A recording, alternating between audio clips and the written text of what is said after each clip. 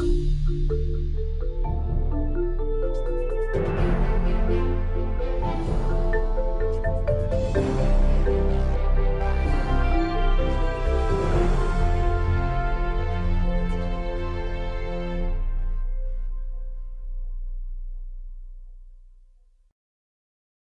evening. I'm Kelly Geer Ripken, National Chair of A Woman's Journey. On behalf of Johns Hopkins Medicine's A Woman's Journey, thank you for joining us this evening for our monthly webcast series, Conversations That Matter. You know, A Woman's Journey strives to improve your well being through health education. Incontinence and pelvic organ prolapse are more prevalent than you may have anticipated. Tonight, we are joined by urogynecologist Dr. Grace Chen of the Women's Center for Pelvic Health at Johns Hopkins and Associate Professor of Gynecology and Obstetrics. So please use the Q&A on your screen to ask your questions to the doctor who will respond during the last 20 minutes of tonight's conversation. As always, our webcast will conclude at 8 p.m. I want to take this opportunity to acknowledge and thank Johns Hopkins University's program, Hopkins at Home, for their production assistance and you can visit their website for additional lectures and courses throughout the year. And now I am pleased to welcome Dr. Chen. Thank you, Kelly, for that introduction. And even more importantly, thank you for setting up this opportunity for me to engage with our patients. My pleasure. So I don't have any disclosures specific to this talk, um, although I am on Johnson Johnson's Educational Advisory Board. Um, a lot of my work has been supported by agencies such as the National Institute of Health, as well as certain foundational grants, but none of them are relevant to today's talk. So first, um, I think it's important to talk to you guys a little bit about what I do. So what is a female pelvic medicine reconstructive surgeon or urogynecologist? So you can do what I do, either going through gynecology or urology. So you can do a residency in either specialty, and then you do a fellowship. So typically it's two to three years of additional training after residency in specifically urogynecology. And the disorders that I treat and do surgery on are pelvic floor disorders. So they include bladder control issues and vaginal support problems. And these are the two topics or conditions that we're primarily going to focus on today. Although I also help women who have leakage of stool, who have pelvic fistulas, and also do some gender assignment surgery, I'm not really going to talk about them today. So today's talk, the overview is such that we're going to first talk about what is pelvic floor. You know, in order for you guys to understand pelvic floor conditions, you should really know a little bit about what the pelvic floor is. And then we'll delve into specifically bladder control issues, as well as pelvic organ prolapse or vaginal prolapse. We'll spend a little bit of time talking also about evaluation and then finally about treatment. And hopefully you'll be amazed by the myriad of treatments that are available. Every, anything from conservative to more surgical type treatments. Besides giving you guys some information about bladder control issues and vaginal support problems, what I really hope you will gain most from today's talk is that although I may focus on these issues, ultimately I'm a women's health champion. So it's important that I and we think about these issues. So I really appreciate Kelly and her team for organizing these sessions. And we should be our own health champions and we should be each other's health champions. So, an important step to being a health advocate is to talk about issues that are potentially embarrassing and perhaps in some settings taboo. So, that's why I very deliberately titled my talk Leaking Bladders and Falling Vaginas. And of course, talking about issues is the first step towards taking action. And finally, part of being an advocate, and not just a doctor or a surgeon, is to really consider these conditions in the context of a, a woman as an entire person with priorities, goals, and expectations. So consider you individually and not just you as a medical condition. And as a doctor, I should not tell you what to do, but rather empower you and provide you with enough information to arrive at a decision that best fits you individually. So those are the themes that I hope will be pervasive through today's talk. All right, so first, what is the pelvic floor? So this is a drawing of what it looks like in a woman's pelvis. And this is as if I were to cut you down the middle lengthwise. And here you see the bladder, the urethra or the opening to the bladder, the vagina, the uterus, and the rectum. And what you may appreciate here is there's a band of muscles here called the pelvic floor muscles. And these really support the bladder, the vagina, and the rectum. And you can think of it as a big rubber band. It kind of supports everything. Today, I'm not really going to talk about the rectum, but instead, I'm going to focus today's talk on the bladder and the urethra, as well as the vagina and the uterus.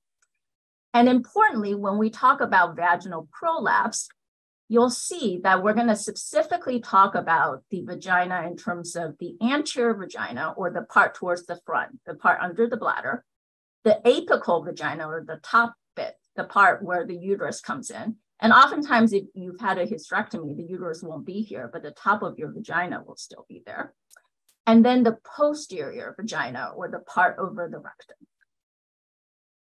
And it's also important to consider how close everything is. You know, our pelvis is a small area. So the bladder, the uterus, vagina, the rectum, they're all crammed in there.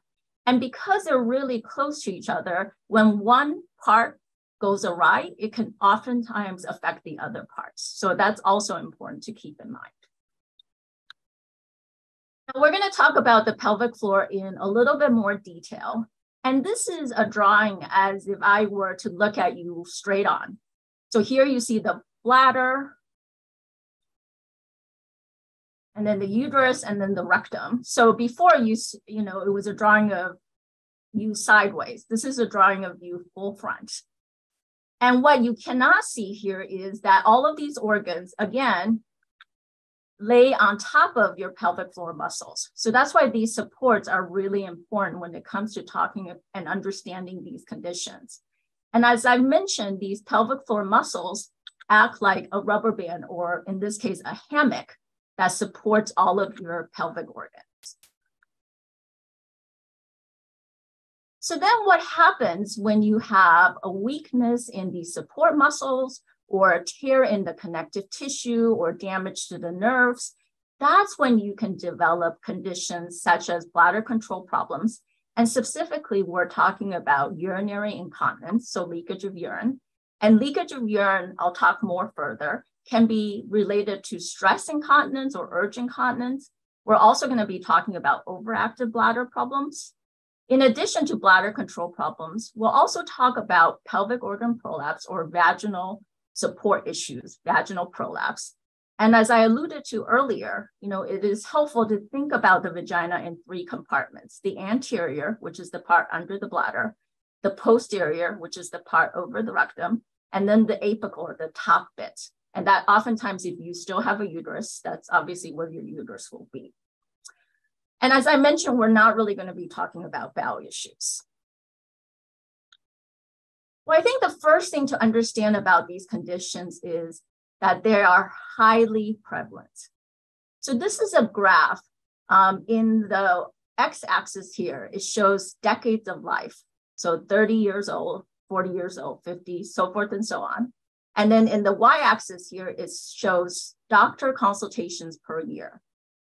And the bluish graph is basically the population in 2000 and then the more yellow red graphs are the population in 2030. And so the first thing to note is that obviously our population is getting older. You know, people are living longer. So the proportion of women who are in their 70s and 80s and, and 60s will increase um, proportionally in the next, you know, 20 to 30 years. The next thing to note is that the consultation for pelvic floor disorder, so bladder issues, vaginal issues, increases as you get older. So it's estimated that there are greater than 200 million women worldwide with these issues. And so some of you guys may have noted that there was a director of a global women's health fellowship in my title. And so, in addition to doing work here, I do a lot of educational work in sub Saharan Africa and in India, because in those places, you know, the, there aren't really a lot of urogynecologists, if any. And obviously, this is a huge issue, not only for US based women, but women worldwide. The demand will care for care will increase by 35%. And again, a lot of this has to do with the population getting older. It's estimated that there are greater than 1.6 million new doctor visits per year for these conditions. Um, and it's estimated that we spend more than $20 billion on these conditions. So, you know, the message here is if you have these conditions or know people who have, you and they are not alone. So, another way of thinking about how common this issue is that depending on what study you read, it's estimated to affect up to 50% of women. And as I've alluded to, it increases with increasing age. And just to give you guys perspective, this is more common than heart disease, more common than diabetes, and certainly more common than any cancers. Now, despite this high prevalence, only about 10 to 20% of women with these issues seek care. And why is that? Well, you know, as I have alluded to, it's a bit of an embarrassing issue. You know, as women, we're all pretty modest. We don't generally talk about our vaginas. Um, well, of course, I do on a daily basis, but most of us don't um, you know, a lot of us think that well, it's just a normal part of aging, a normal part of being a woman. And and you know, I did show you guys that as we get older, of course, your risk of developing these issues do increase. However, it is not normal. And it is also important to think that these conditions really do impact quality of life. And also importantly, especially in older women, it may increase the risk for falls. And falls actually have been related and associated with death. So again, you know, it is primarily a quality of life issue, but it's not just a quality of life issue. Um, and as I have alluded to, you know, up to two thirds of women have not discussed these issues with a doctor. And so, again, this is why I'm especially grateful to Kelly and her team for really giving me the opportunity to talk about these conditions. And women typically wait more than six years before getting help for these conditions. Now, I'm also going to present some data on how common these type of surgeries are. Um, so in this graph here, again, in the x-axis, you see age ranges by decades. And then in the y-axis, this is the cumulative incidence of surgery. And obviously, you know, as we get older, again, cumulatively, you're increased risk for having surgery for these conditions, up to a greater than 10%, you know, by the time you're almost in your uh, 80 years. And it's estimated that there are greater than 300,000 surgeries performed per year for these type of issues. The lifetime risk of surgery is about 20% or so. And just so that you have something for comparison, the lifetime risk for breast cancer is about 15%. So again, you know, these are really common conditions and common surgeries. Okay, so now we're going to talk a little bit more specifically about bladder control problems. And the two type of conditions I'm going to talk about are stress urinary incontinence and then overactive bladder and urge incontinence. So first, what is stress incontinence? So stress incontinence is the involuntary loss of urine with any increases in intra-abdominal pressure. So put simply, it's leakage of urine when you sneeze, cough, laugh, change positions, walking or running. And so I think this graphic really exemplifies that well. So anytime you're using these um, abdominal muscles, you may leak urine. So this is stress incontinence. In contrast, overactive bladder or urge incontinence is basically the feeling of sudden urgency with and without leakage. So there are women out there who may have overactive bladder, meaning that they feel the sudden strong urge to urinate and they feel an increase in frequency of urination, but they actually make it to the toilet. So they don't necessarily leak urine, And there are certainly women out there with overactive bladder, meaning they feel these urgency and frequency symptoms, but they don't make it. So they may leak on their way to the toilet. And other conditions that are associated with that include nocturia, which is just waking up more than once at nighttime to urinate. And as I have alluded to, urge incontinence just refers to the sudden and involuntary loss of urine. So typically, your bladder should really stay relaxed until you're ready to urinate. But with overactive bladder or urgency incontinence, you know, you always feel that involuntary bladder contraction. So you always feel the urge to urinate. Um, and a lot of these women, they feel gotta go, gotta go. And oftentimes when they're in a highway, you know, or at a shopping mall, all they see are bathroom signs, or all they're looking for are places where they could use the toilets. When you have both of these conditions, and many, if not most women have both, it's called mixed incontinence, okay? Meaning that they have both stress incontinence symptoms as well as overactive bladder urge incontinence symptoms. And again, it's really important to understand that even though these are related conditions, they're actually two separate conditions. So the treatment options are different. And as I alluded to, you know, the, because the treatment options are different, oftentimes where we start is we start with whatever condition is most bothersome to the patient. So if someone has more bothersome stress incontinence symptoms, then we may start with this treatment versus if they have more bothersome overactive bladder, then obviously we'll start with that. And finally, pelvic organ prolapse or vaginal prolapse. And as I alluded to, this can happen in the anterior vagina, the posterior vagina, or the apical or the top of the vagina. And oftentimes women with these issues present with feeling of a bulge, pressure, or heavy sensation in the vagina. And oftentimes they'll tell me that they feel these symptoms more at the end of the day when they've been on their feet a lot or when they've been, you know, physically active. Um, the women may describe it as sitting on a ball. Now, other symptoms that women may have include having back pain. Um, some women may have more vaginal discharge and spotting. Um, some may have some discomfort or lack of sensation during intercourse. And depending on the location of prolapse, so if your prolapse is anterior, and remember this is the part under the bladder, you know, women may have issues with urination. If it's posterior, and this is the part over the rectum, women may have issues with defecation. Now, these symptoms here, the back pain, discharge, discomfort, you know, these symptoms are not very specific for prolapse, meaning that obviously you can have vaginal discharge and spotting without prolapse. Really, the most specific symptom for prolapse is feeling of a bulge. Um, similar to the bladder control issues, these conditions are not life-threatening, but it obviously affects quality of life.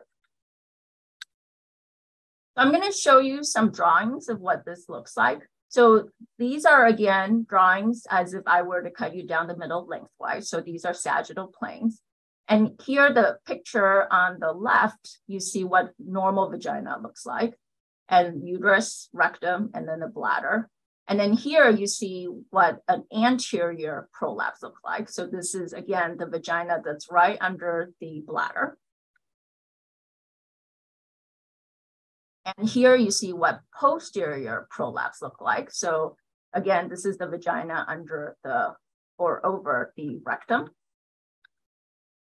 And then here you see a depiction of what uterine or apical prolapse looks like. So this is the prolapse of the vagina at the top. And again, if a woman still has a uterus, this could include a uterus, but even without a uterus, so this is without the uterus, you can see the top of the vagina can also prolapse. Now, I'm going to show you guys a photograph of what this looks like. Um, so, so far, I've just shown you drawings. So this is a photograph of what severe or complete vaginal prolapse looks like. So basically, this is a E version of the entire vagina. And you can see that for women who are unaware of these conditions, how distressing this can be. You know, I've had so many women come, you know, very distressed, thinking that they have cancer. Um, and obviously, the, the best news I can tell them is this is not cancer, this is prolapse. So, again, this is when the entire vagina basically has turned inside out.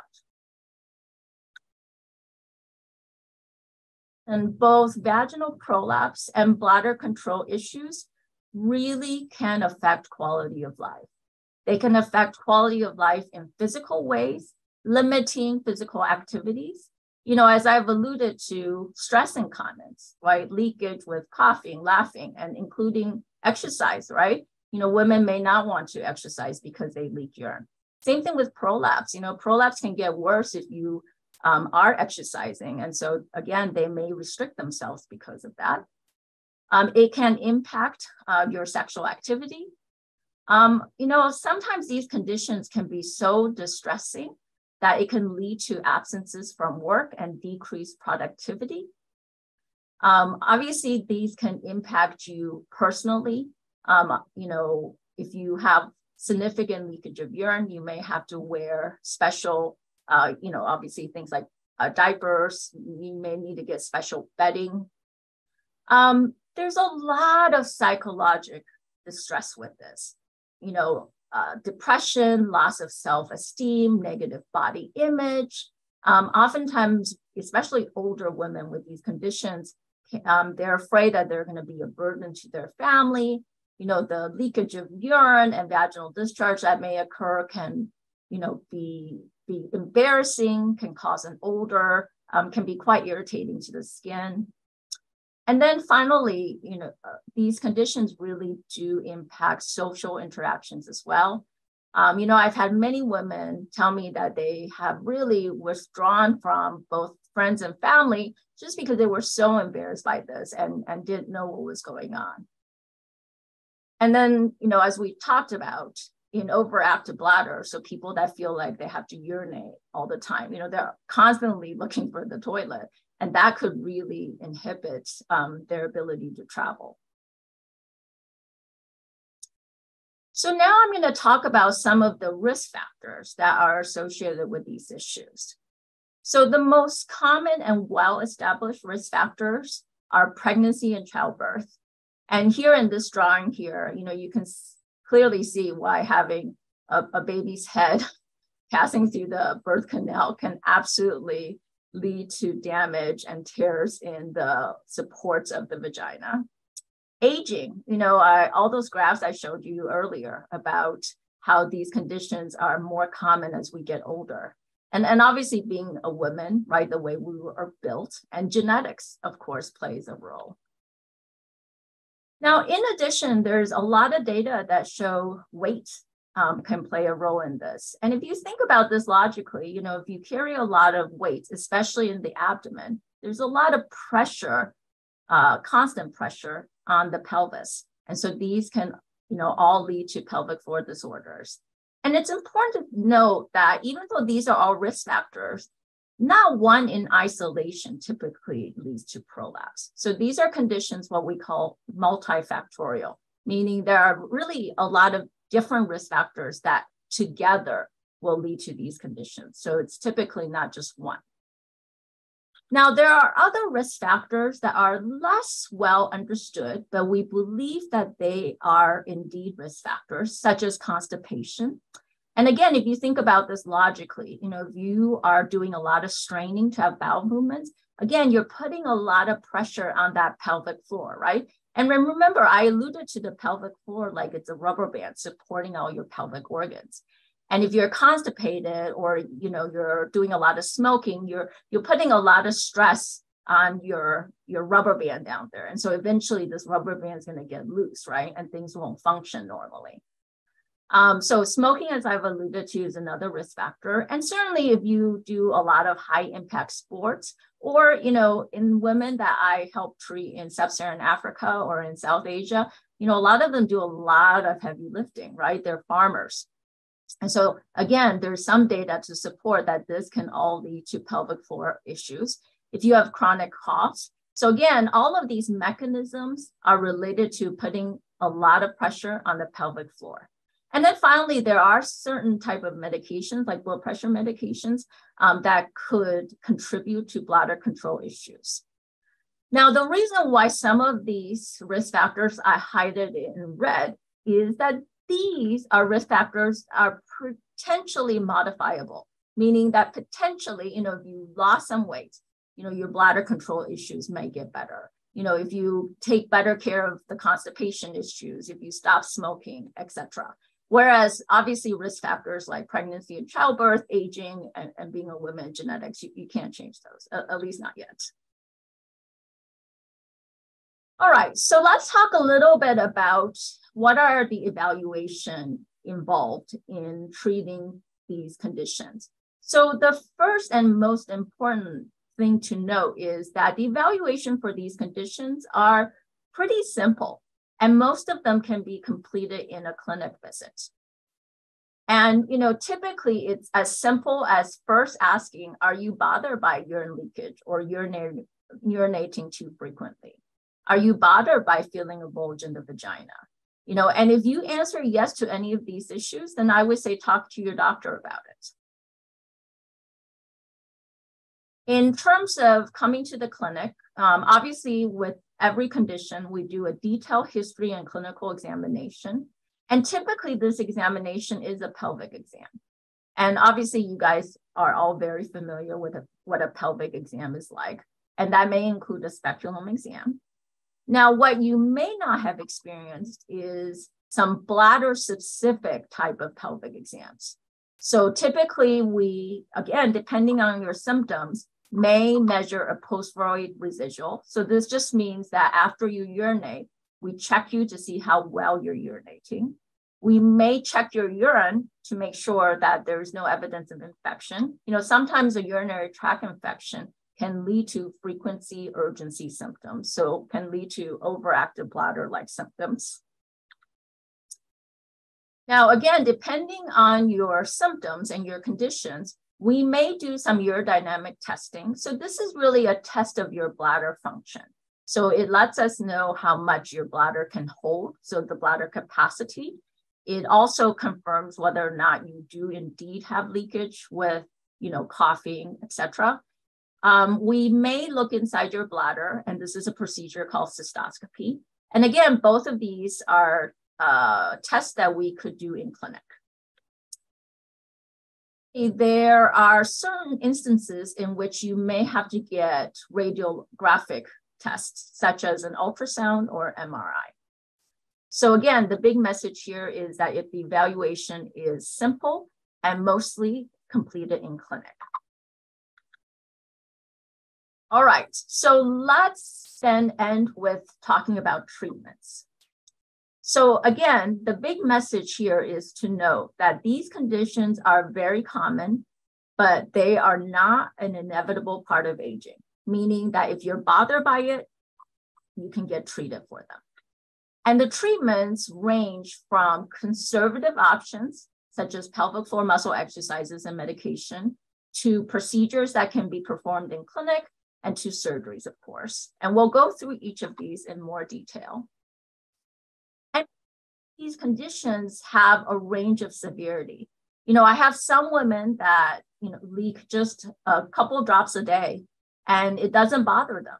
So, you know, the treatment itself should really be tailored to the amount of bother and impact these conditions are causing for you as well as your specific goals and expectations. You know, we all have different priorities. So I think it's really important that we individualize treatments.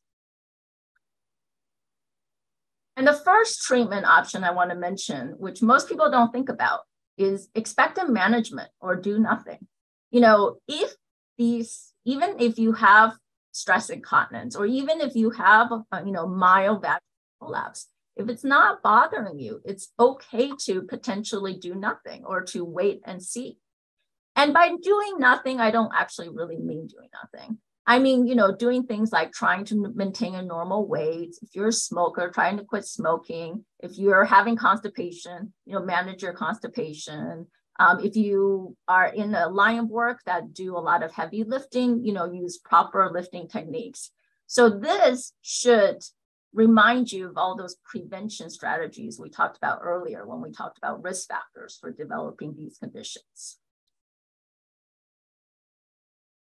In addition to quote unquote doing nothing, one thing I always urge all of my patients to do, all of my friends, my nurses, my medical assistants, is pelvic floor muscle exercises. You know, to me, this is a good thing to do, irrespective of honestly whether or not you have these conditions. But certainly, if you have these conditions, even if you're not bothered, I think it's reasonable to do pelvic floor muscle exercises. Um, and again, we already talked about how important the pelvic floor muscles are. And these are really exercises that aim to strengthen muscles that you know help with bladder issues and vaginal supports. And these exercises are helpful for both stress incontinence as well as the urgency incontinence, and may also be helpful for vaginal prolapse. Now, many of you may know these exercises as Kegel exercises. Oftentimes, you know, up to 50% of women can't really squeeze these muscles adequately or can't locate them, you know, because again, they're hidden, right? They're in the pelvis and it's really hard to feel them. So it may be helpful to work with a pelvic floor physical therapist. Um, so most, you know, women that see me don't realize that there are physical therapists that specializes in the bladder and in vaginal support issues, and they're really quite uh, facile are at teaching patients how to control these muscles well, and also how to use these muscles. In addition to this, you can also work with a physical therapist to retrain your bladder. So, for example, for patients who have overactive bladder issues where they're urinating every hour, you can actually retrain your bladder to gradually lengthen the duration between voids. So, every hour to an hour 15 minutes, hour 30 minutes, so forth and so on. Additionally, you know, sometimes as we get older, we we kind of forget about the bladder, so to speak. You know, we we don't feel when the bladder is telling us that it's time to go before it's too late, and we you know wet ourselves. And so sometimes you can use what we call prompted or time voids. And what this basically is is setting a, a timer, you know, like on a cell phone, to go off every you know two and a half or so uh, hours to remind you to urinate. So even if you don't feel the urge to go, you know, when your cell phone goes off, you go ahead and go use the toilet. And those type of strategies, especially for older women and, and older women in nursing homes, may be quite effective in decreasing leakage. Another conservative options that I like to talk about is fluid and diet management. Now, this is primarily for, you know, overactive bladder, urge incontinence type symptoms. And the first thing I do want to point out is that there's not a ton of evidence supporting this, okay? But this is one of those treatment options or strategies that, you know, what's the harm, right? There's no harm in doing it. And even if there's not a ton of evidence, a lot of patients tell me that this is actually really effective for their conditions. And so the first thing is don't drink too much fluid. So drink when thirsty. So, you know, our bodies are very smart. If you drink extra fluid it doesn't need, guess what? It just makes you go to the bathroom more. It makes you urinate it out. So it's really important to check in with your body so that you don't become dehydrated, but only drink when you're thirsty. Now, in terms of drinking, obviously not fluid, not all fluids are made equal. So there's certain fluids that could irritate the bladder more. So, for example, caffeinated or even decaffeinated teas and coffees. You know, this may make you feel like you have to urinate more. Um, alcohol, acidic fruits, spicy foods, carbonated drinks, artificial sweeteners. So, really, again, there's a whole list of things that potentially can irritate our bladder and make us feel the urge to urinate more. So, again, addressing more of the overactive bladder issues. But I caution that number one, there's not a lot of evidence, right? So we don't really know if indeed eliminating alcohol is going to entirely solve your bladder control issues. Second thing is, you know, I, I give a list very similar to this to all my patients. It's a generic list, but everyone's bladder is different, right? So if you want to do some fluid and diet management, I would eliminate one thing at a time and see if it makes a difference. So, for example, eliminate coffee for a few days. And if your overactive bladder symptoms get better, then you know that coffee is indeed a bladder irritant for you. The other thing I will say is I think it's important to put things in perspective. So, these are quality of life issues. you know, and, and as a doctor and as a surgeon, I drink a lot of coffee. I would be miserable if I didn't have my coffee. So, you know, even if the coffee may end up irritating your bladder, if you're going to be miserable if you don't have your coffee, then, you know, maybe instead of cutting it out, just cut it down. So again, you have to make those type of judgment calls.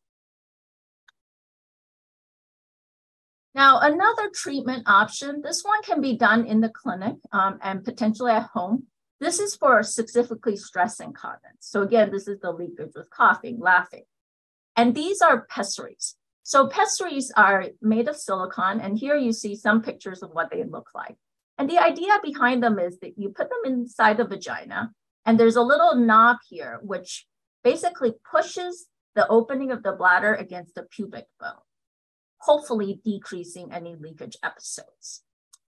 And typically, this is something that you know you'll have to get fitted in clinic with a, a physician or a nurse practitioner and then we teach you how to manage it on your own at home. And this is also something that could be used for vaginal prolapse, which I'll explain more later.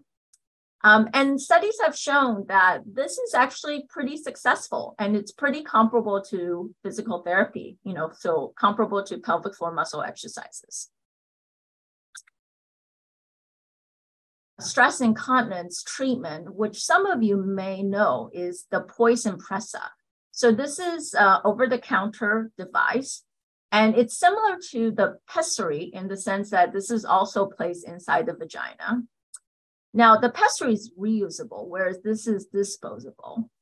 And, you know, the idea is similar that it basically, this thing pushes the bladder against the pubic bone to hopefully decrease um, the bladder leakage. Um, there's very limited data on how efficacious it is. Um, it's you know over the counter, so it's not typically covered by insurance. And a lot of uh, women, especially older women, tell me that this actually is quite irritating um, in the vagina. Another treatment option for stress incontinence, and this one can be done in the clinic setting, um, are urethral bulking procedures. So basically a bulking agent, so methyl cellulose or, you know, we used to use collagen in the past, can be injected inside the opening of the bladder to bulk it up, thereby decreasing urinary leakage.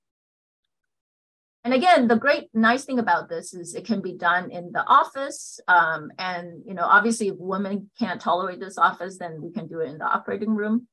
The bad thing about this is that it does need to be repeated. So depending on what we're using, anywhere from six months to seven years. So it's not permanent. So over time, your body will degrade these. Finally, the gold standard for stress incontinence treatment is sling procedure.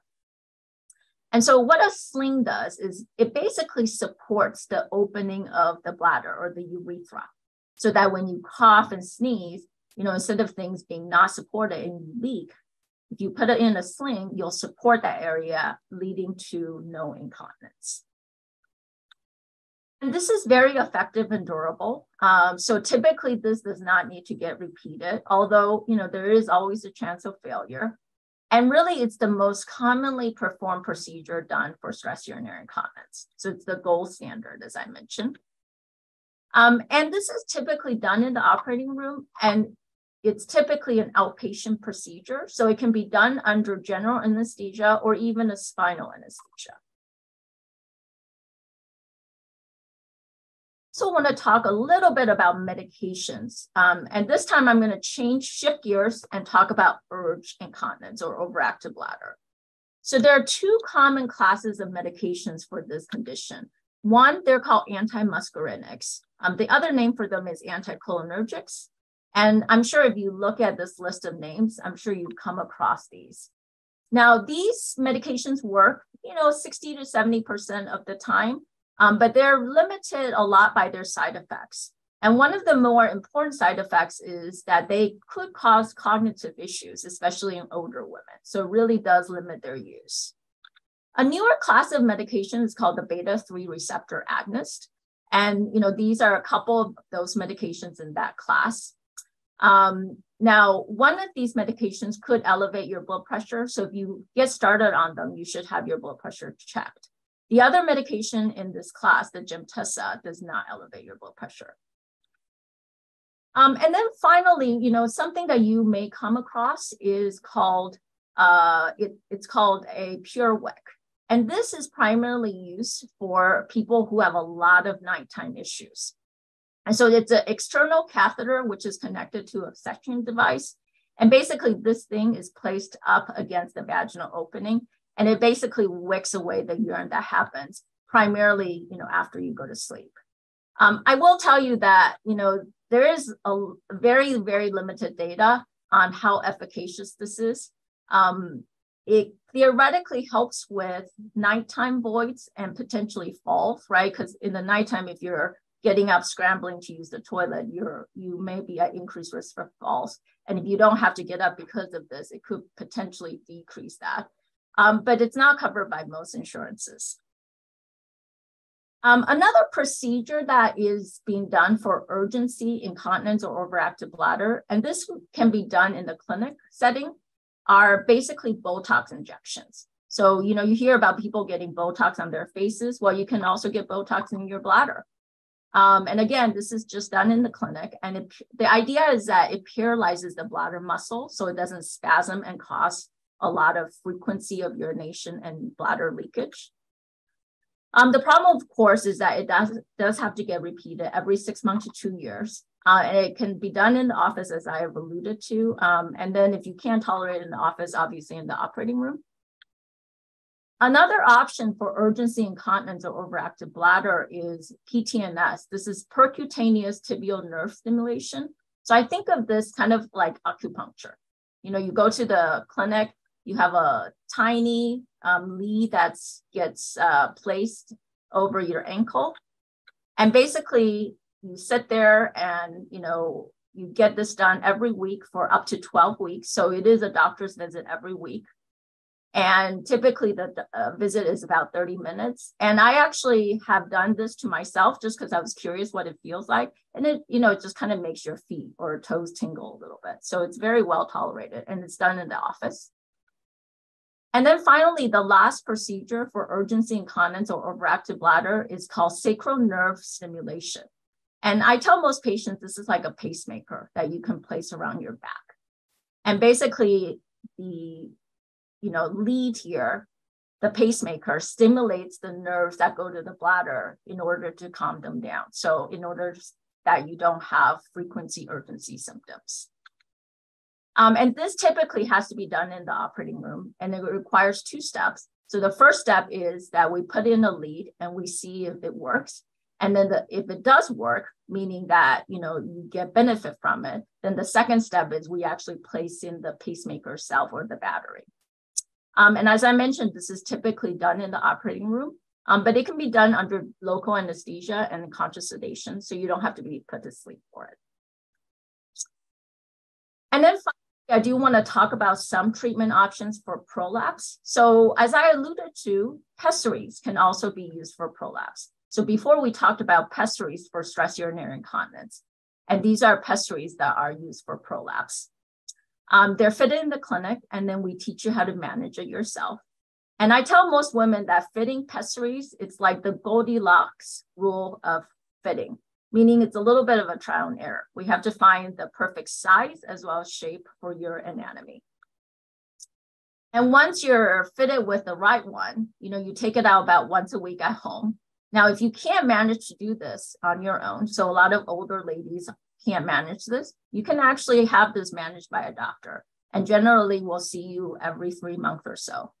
And it's really a great option if you're not ready for surgery or if you don't want surgery.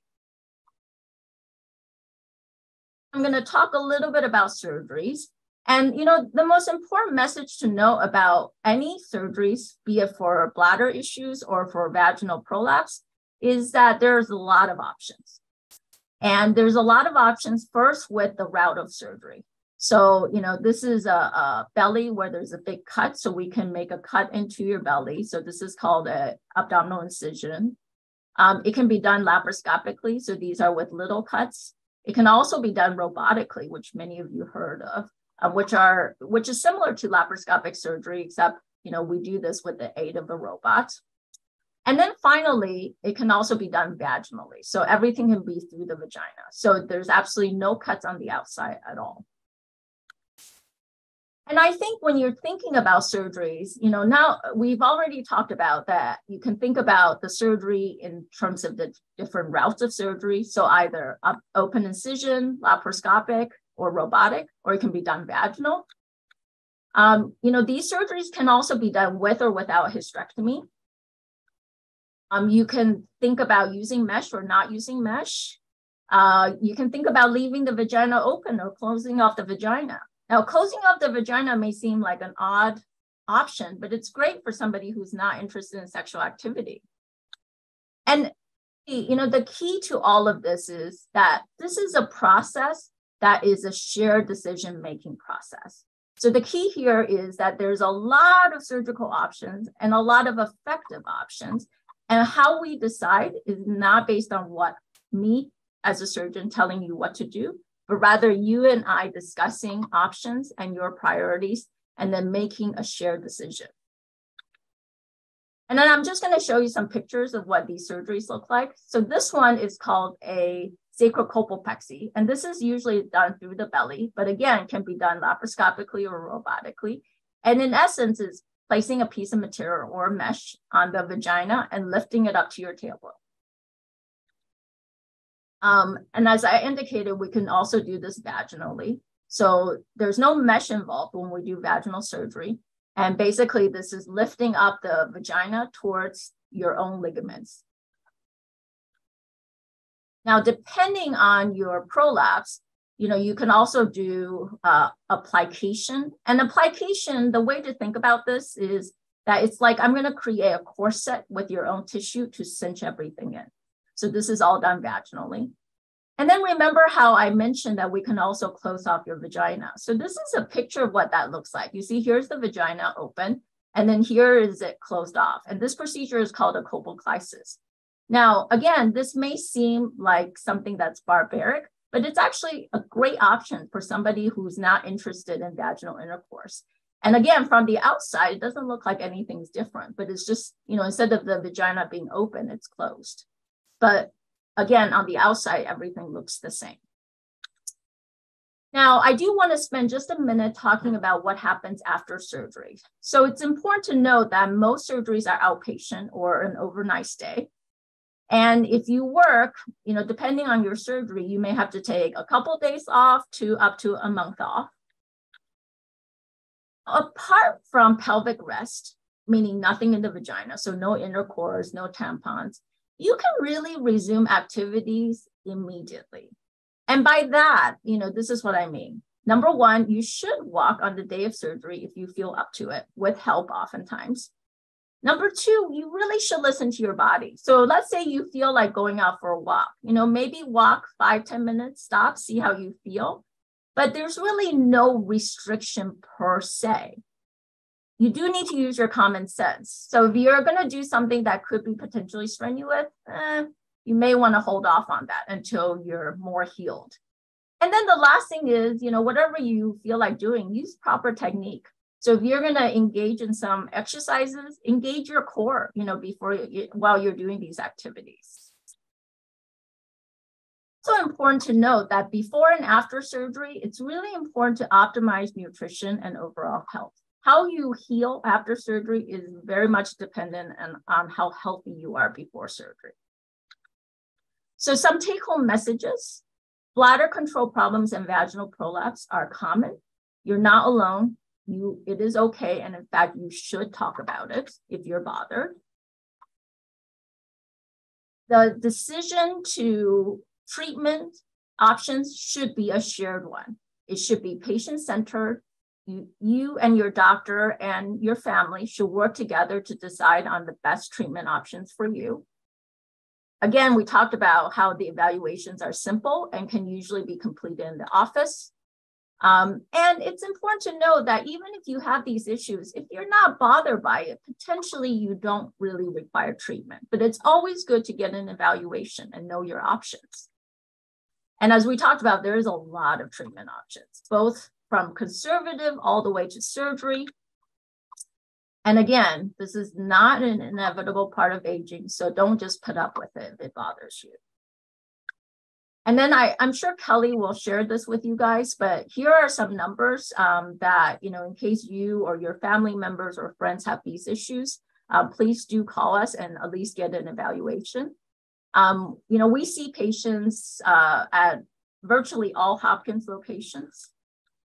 And then this is a website to some of the patient information that we have developed um, for you guys. So please uh, do look it up. And then here are just some other websites that are useful, both from the NIH, so National Institute of Health, as well as from the American Urogynecologic Society. So people that do what I do are part of this group. All right. Well, thank you for your attention. I know that was a lot, um, but you know, it, it's a. I, I hope you get the sense that not only is it a really common issue, um, there's a lot of treatment options, you know, so don't be afraid to seek care just because you're afraid of surgery, because I presented lots of options that are not surgical. Thank you. Thank you, Dr. Chen. Wow, wonderful presentation um, and very important information. So we're going to jump right to it if you if you're ready. Yep. Um, okay, so we've got a question from Helen. And she'd like to know if you have urinary incontinence during pregnancy, does this imply that you will have it throughout your life? Yeah, great question. So, if you have it during pregnancy, certainly after a pregnancy, while your body is still trying to get back to normal, you may continue to have it. Um, and typically, you know, after about six to 12 months, if you continue to have these issues, then you may continue to have them, of course.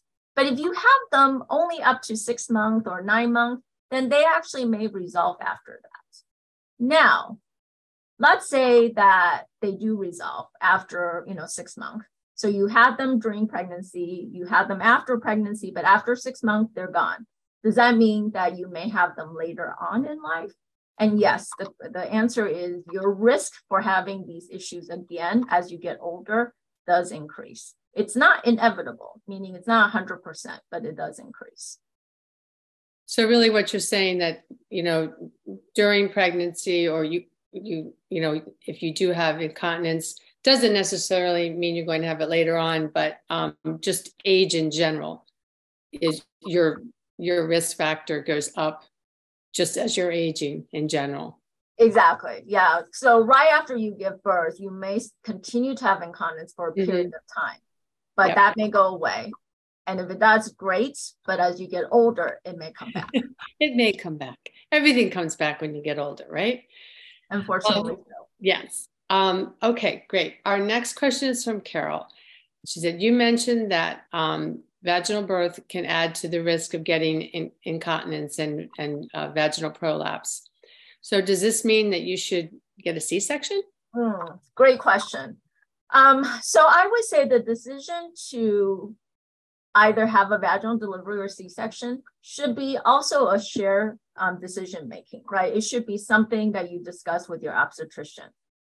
We do know that C-sections can be protective for these conditions, but remember, childbirth is just one risk factor that may predispose you to getting these conditions. So there's obviously other risk factors like getting older, like genetics, right? Um, that you can't control just because you have a C-section. And so I never tell patients that they should get C-sections, but you should certainly mention it to your obstetrician.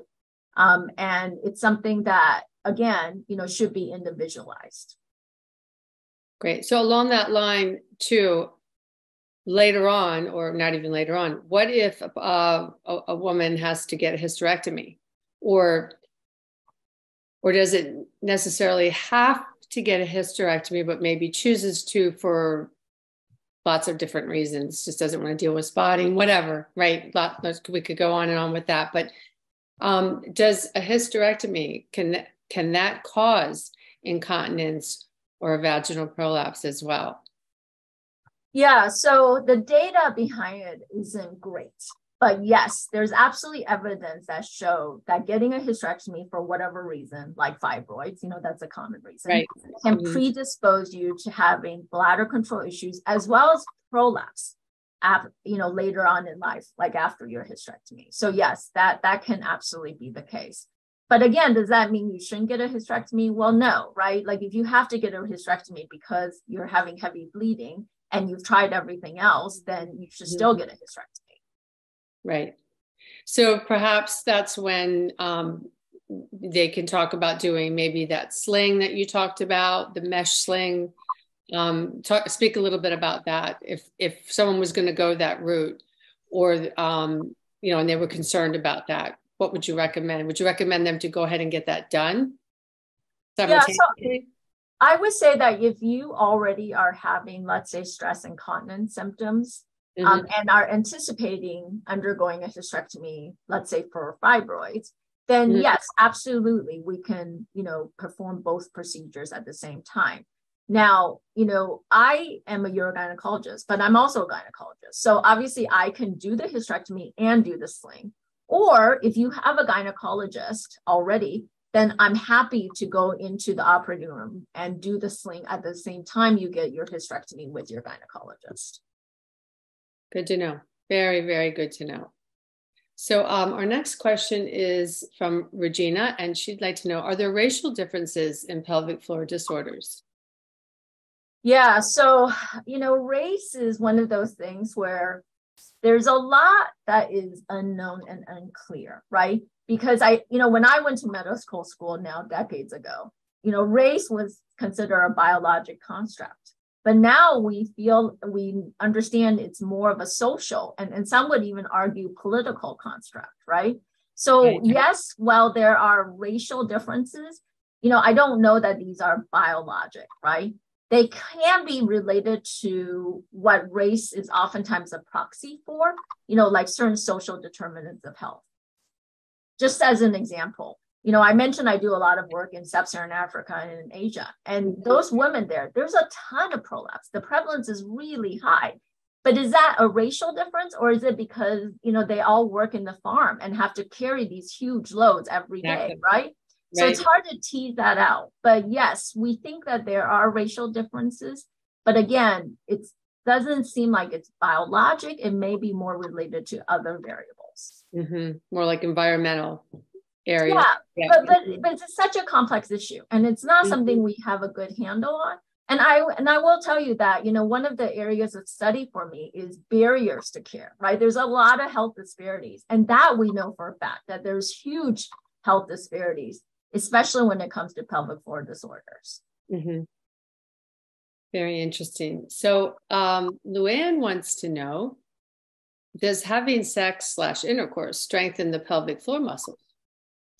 you know, that's interesting. Um, not that we know of per se, um, only because it's it's hard to know, you know, during intercourse. I mean, that could mean so many things to so many people, right? Right. And and you're not necessarily always using your pelvic floor muscles in intercourse. Again, you know, it, it's such a vague term, right? What does that mean? Mm-hmm. And so so the whole concept of you know uh, lose it if you don't use it, uh, I'm not right. sure that that right. is completely relevant here. Um, now, having said that, it doesn't mean you should be discouraged from having sex, right? Yeah, that's true. I actually think it's a great question because um, you wouldn't know. Actually, you would, yeah. you would think that you are using your pelvic floor muscles. You would think that, and maybe some of you are, you know, during certain types of intercourse. Yeah, yeah. So, well, thank you for that. Um, our next question from Susan. She wants to know: Can stress incontinence go away without any interaction? Yeah, so I will say that all of these symptoms waxes and wanes, right? There are some days in which you may be more bothered, other days in which it may be less. I have patients that, you know, they see me, they do their Kegels, things get better, and their symptoms, quote unquote, resolve for a few years, and then they come back. And so, you know, it's not like cancer where if you don't treat it, you know, it doesn't go away. A lot of times these symptoms do wax and wane, and certainly the amount of bother they have for you and the amount of impact that they may have for you right. may also differ. Right. Well, thank you very much. And Dr. Chen, unfortunately, it looks like we're running out of time. We're close to the eight o'clock hour. So much information, though, that you uh, gave to our audience, and uh, just really lovely. So I want to take this time to to thank you so much for speaking with us tonight and about such important issues. And like you said, issues that lots of women really just don't want to talk about for all kinds of reasons. So thank you for that. Um, so Dr. Chen also has graciously agreed to respond to any of the unanswered questions that were asked this evening. So in a couple of weeks, you'll receive an email outlining the outstanding questions and answers. At the same time, we'll also put the website that she had put up on the slide and the phone numbers. So uh, you all will have that. In the coming weeks, a video of tonight's live stream will be available on the A Women's Journey website, hopkinsmedicine.org slash a woman's journey under videos on demand. And if you'd enjoyed tonight's discussion, please check out our website, hopkinsmedicine.org slash a woman's journey for more information about upcoming webinars, our Insights That Matter podcasts, and sign up for our monthly emails. Have a great night and stay well.